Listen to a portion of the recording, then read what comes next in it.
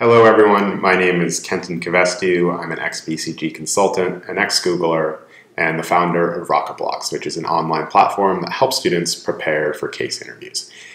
In today's Rocketblocks mini lesson, we're going to be talking about an incredibly common problem, question rather, that will come up in the consulting interview process, probably repeatedly throughout it, and it comes up in all sorts of interviews outside the consulting interview process as well. So whether you're interviewing for McKinsey or a PM position at Google, this question is going to be something that you will face at some point.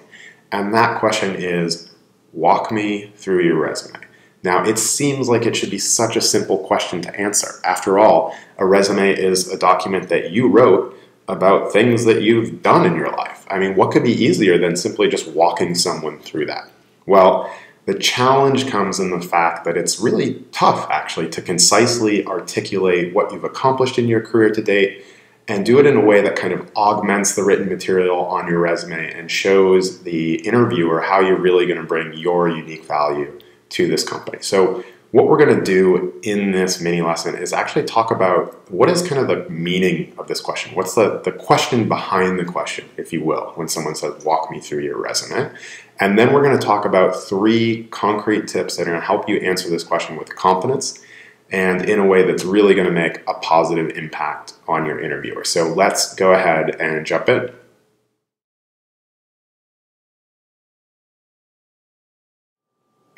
So the number one mistake that candidates make when someone says, walk me through your resume, is they translate that question into something akin to, tell me everything about your career to date in reverse chronological order. Now, if you've had a super interesting career and you've done a ton of interesting things and you have a very succinct uh, way to explain that, that might work. But for 99, 98% of candidates, if you translate the question that way, your answer ends up, uh, you know, being a bloated, rambling, kind of unfocused answer that just summarizes everything you've done today. And even if you've done a lot of impressive things, that delivery of that content is typically going to fall flat. And so, what you want to do is you really want to understand the question behind the question.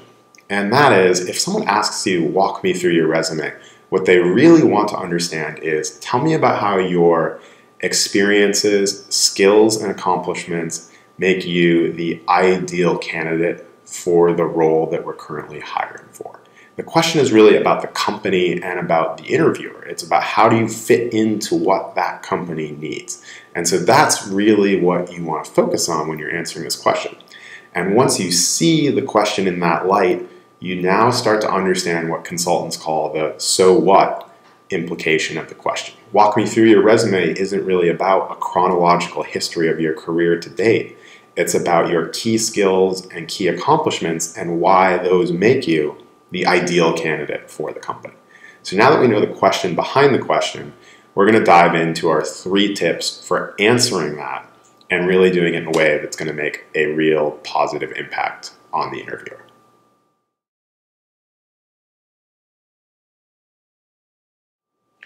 Tip number one, focus on your career arc. So as we talked about earlier, this question is not about a strict chronological answer. If you find yourself doing, first I did this, then I did this, then I did that, then I did that, not only are you going to bore yourself, but even worse, you're going to bore your interviewer. and that is definitely something you don't want to do. So instead, what you want to do is you really want to curate the experiences that you're sharing.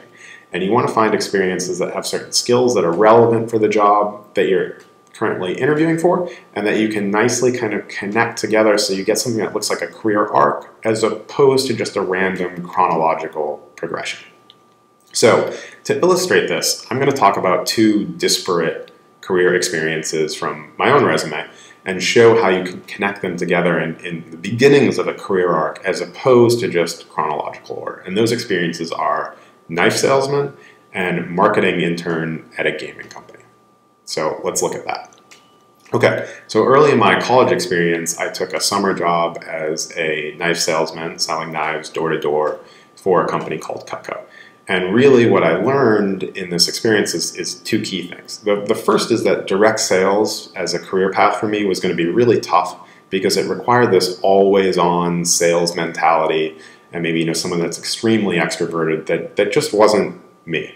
The the second thing that I learned was that you know in the sales pitches themselves, if you could weave in the emotional value and the emotional connection to a product, as opposed to just focusing focusing on the utilitarian you know product features and the functionality, uh, it made pitches that much more kind of colorful and compelling, and it really made uh, impact on, on purchasing decisions for consumers. And so, you know, with selling knives, this was things like weaving in the experience of cooking and cooking meals, and that often involves cooking for friends and family, and especially if someone loves cooking, there's a lot of good memories that get created there. So if you could weave that in, that was super effective, and I found that really, really interesting. And those two things actually led me to an internship later in my college career at Electronic Arts in the marketing department. And the reason for that was I knew that I didn't want to be on the direct sales side, but I was really interested in this emotional connection and how that drove purchasing decisions. And Electronic Arts was a company whose games I had grown up playing. I've been playing, you know, the NHL series, um, you know, since 1994. Uh, growing up, and probably had played every single year throughout the rest of my high school, middle school career. And uh, so for me, I had a strong emotional connection uh, to those games, and the, and you know naturally the, the chance to apply those learnings at a marketing role at EA was a really really fun experience. Okay, so taking a step back, you now see how two disparate experiences selling knives and a marketing internship at the gaming company Electronic Arts can actually be connected in a much more meaningful way than just kind of chronological order. You can kind of fuse them together by showing this bridge of how learnings from one role translate into how you sought out and pursued another role and why that actually made sense.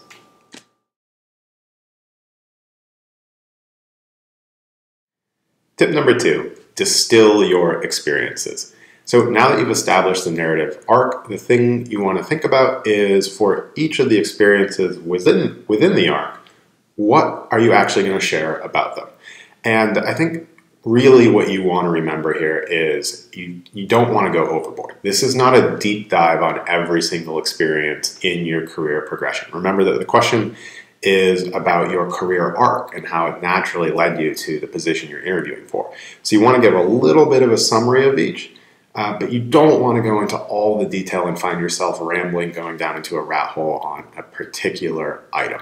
So the three questions that I would recommend you answer for each experience in the career arc is one, uh, what led you to that role? Two, what did you learn from that role? And three, how did it influence your next steps? So if you think about the EA example that we, we started walking through, we actually already answered the first question, which is we know why I pursued that role. It was due to the learnings from my prior role as a knife salesman. And so that's that's the first step, but we haven't covered parts two and three yet. So let's revisit that example, and I'm going to walk through part questions two and three for the EA example. Okay, so when I was at EA, I really learned two things. The first was that it was my first exposure to the Silicon Valley tech scene that EA was part of, and I found that scene really, really exciting and enthralling. There was just so many new products being launched, and the people that were working on them were so enthusiastic about the impact they were going to have, and it was just a really great, positive scene. And so the first thing I learned is that, you know, regardless of what happened with this internship, when I was looking for a job a year later, I knew I wanted to come work in the Silicon Valley tech scene. So that was the first thing. The second thing I learned was that at EA, I did get a chance to build on how that emotional value and connection to a product can really influence uh, and make marketing uh, work and make it really powerful. But the other thing I noticed was that my interest in video games itself, uh, that connection, you know, had, had, actually waned over time. Like it was something that I grew up uh, playing a lot of video games as a child and in middle school, but throughout high school and college, it had waned. So the second learning for me there was that I liked that style of work, but I wanted to find a place where I could put those skills and leverage those insights um, and, put them to use on a product that I really cared about and that I use daily. And at the time for me, that was actually Google because their search engine was relatively new on the market. Um, and I thought it was just personally better than all the other competition out there, and I was recommending it to my friends and family. So it was kind of a natural place to look for a job. And so Google went from not being on my radar at all as a place to work uh, to the top of my list. Okay, so taking a step back, you see how points two and three for the EA experience communicate a few key learnings and then also how it influenced what I looked for in my next role. So it continues that narrative arc very nicely.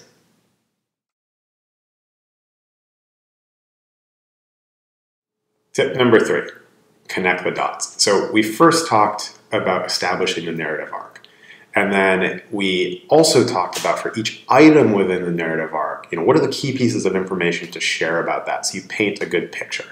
And you'll notice that as we were talking about that, one of the critical components was the last bit for each experience is how it connects to the next one. What is kind of the, the item and, or the you know the glue that holds those two things together and helps create that narrative arc. So the critical thing here is when you are finishing and you're discussing the last uh, experience in your narrative arc that you want to highlight, you don't want to just stop there. You want to connect that experience directly to the role that you're applying for currently. This has uh, two really nice benefits. One, it's just a great capstone and end to the question of walk me through your resume. It's a really natural place to end. The second thing is that it shows that you've really thought about how this role at McKinsey, Bain, or BCG, or wherever it might be, really fits into your career story. And that it's not some job that you just threw your resume in the pile for at the last minute, but that you really thought about how this is the clear kind of next step in your career progression. So it's a really great way to just kind of tie a bow on the whole answer.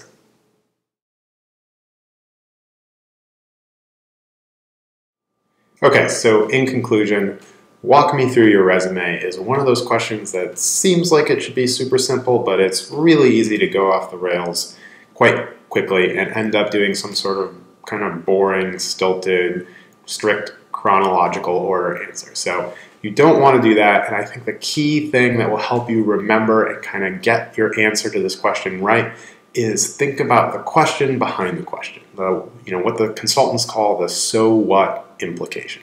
And that is they want to see how your experiences and skills and accomplishments to date really kind of naturally flow together and are the natural lead in to the role that you're currently applying for. So if you can remember that insight and use the tips we talked about, you're going to be able to craft a really great answer to this question.